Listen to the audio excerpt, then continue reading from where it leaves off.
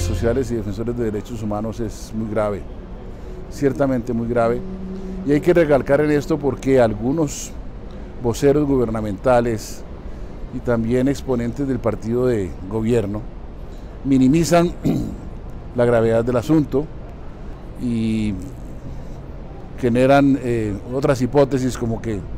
la más conocida es la de los líos de faldas, que hablan algunos de, estos aspectos, o problemas de linderos. los líderes sociales y defensores de derechos humanos están siendo asesinados a un ritmo vertiginoso. Hay no menos de dos líderes y defensores muertos asesinados cada semana.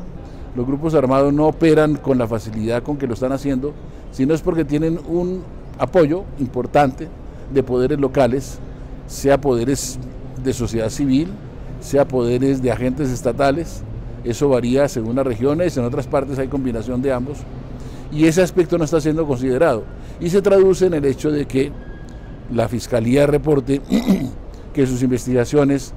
no le permiten saber quiénes están detrás de estas muertes. Eh, y tienen algunos casos en los cuales dicen han identificado a los autores, pero a los autores materiales que son sicarios, que son personas contratadas para ejecutar estas muertes. Y además de esos enlaces con poderes locales, hay una problemática social subyacente que es en la cual se dan todos estos problemas. Así que hace falta una, una política decidida, fuerte para hacerle frente a esto y esa política debería ser diseñada, como lo dice el decreto ley 154 del, eh, del 17,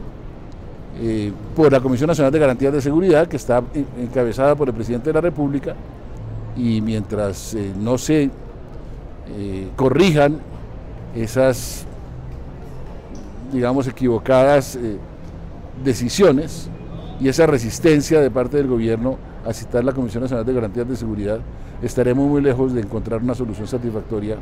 a este gravísimo problema.